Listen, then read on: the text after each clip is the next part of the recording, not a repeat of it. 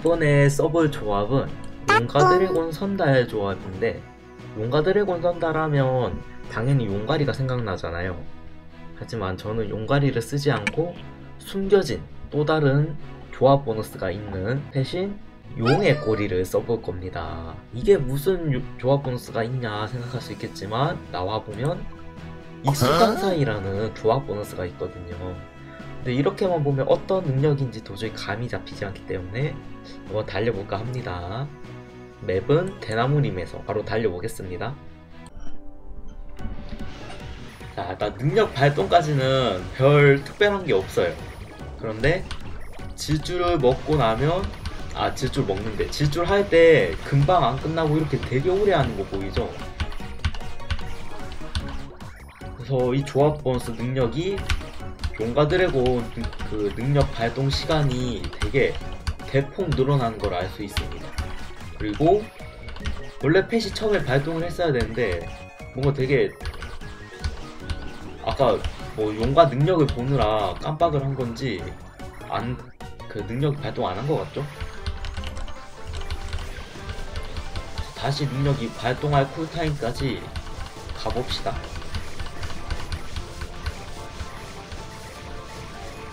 어우 질주킨 거 봐.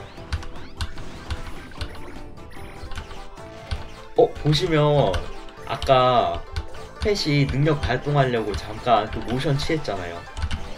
그런데 실제로 능력 발동은 안 하고 바로 들어갔어요.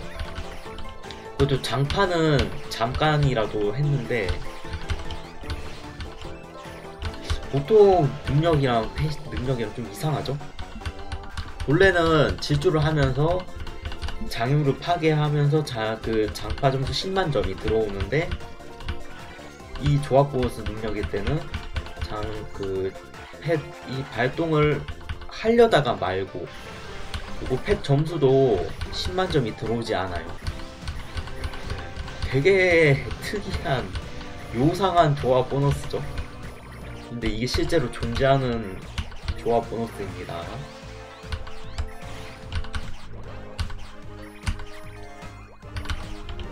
그래서 이 조합을 하는 이유는 뭐 이런 게 있다는 걸 좀 보여주려고 하는 거랑 용과 능력을 되게 가장 시원시원하게 볼 수 있는 조합 이 조합 아닌가 싶어서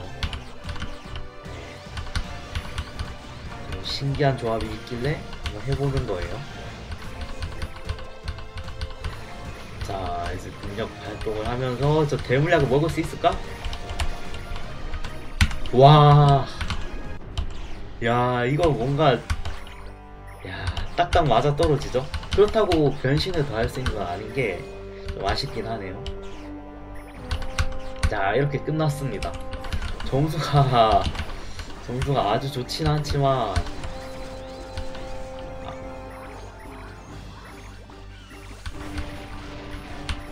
어 이제 펫이 발동을 하네요. 용가 쓸 때만 능, 펫 능력이 발동하지 않다가 펫이 끝나 아 선달이 끝나면 이제 펫은 정상적으로 발동을 하네요.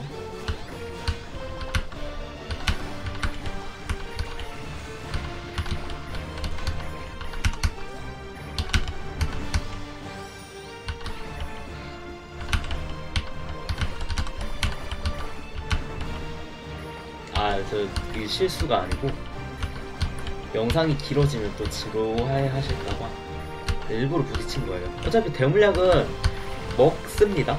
예. 아, 아, 아, 잠깐, 자 먹는다 했는데, 아,